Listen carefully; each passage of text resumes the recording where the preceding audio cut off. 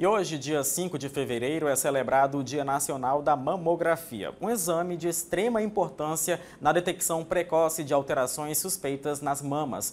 A nossa reportagem de hoje faz um alerta sobre como a mamografia é indispensável na vida da mulher.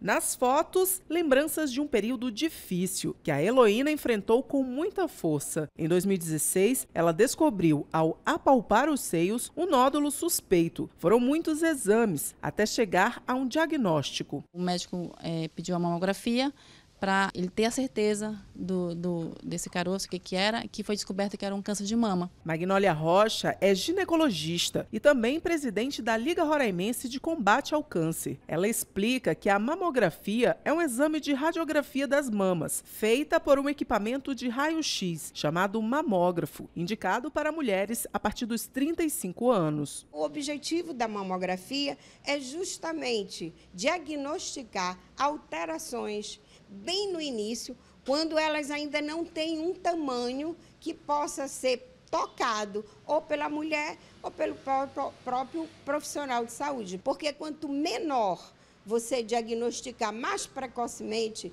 o nódulo, mais, é, menos radical será o tratamento. Em Boa Vista, segundo a Secretaria Estadual de Saúde, dos 14.143 exames médicos realizados em 2023 no Centro de Referência de Saúde da Mulher, 1.803 estão relacionados a exames de mamografia. A marcação é feita a partir do encaminhamento médico. São realizados 15 exames pela manhã e mais 15 pela tarde. Na realização do exame, nós pedimos que ela retire a parte superior da roupa e nos direcionamos ao mamógrafo.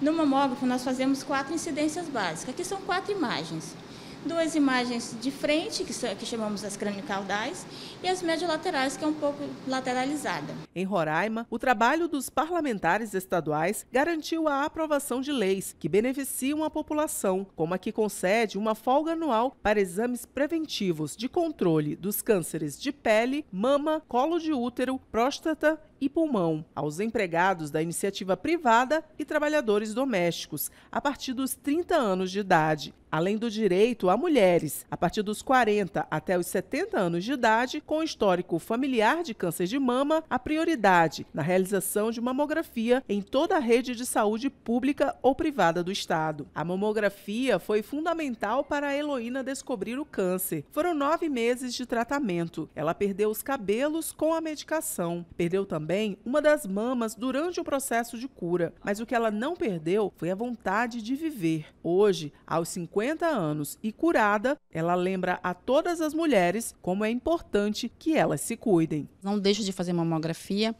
porque é um exame muito importante para cada uma de nós, né? E mesmo que às vezes seja incômodo, mas procure fazer né? Que daí você vai descobrir se tem algo estranho, se tem algo que, que precisa de um tratamento, de acompanhamento, o médico vai avaliar e vai, vai ser tudo legal.